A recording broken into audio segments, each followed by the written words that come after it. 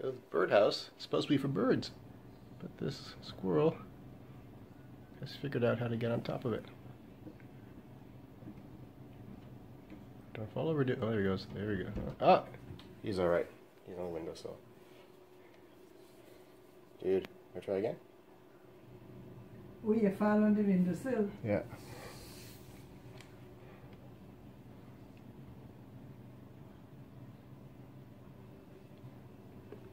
What do you think, Diddy?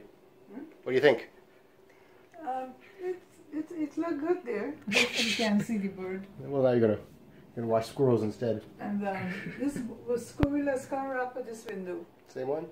I don't know which one, but Yeah, you have to put it higher up, maybe. but tell the daddy, look, your kid come. I up for some food.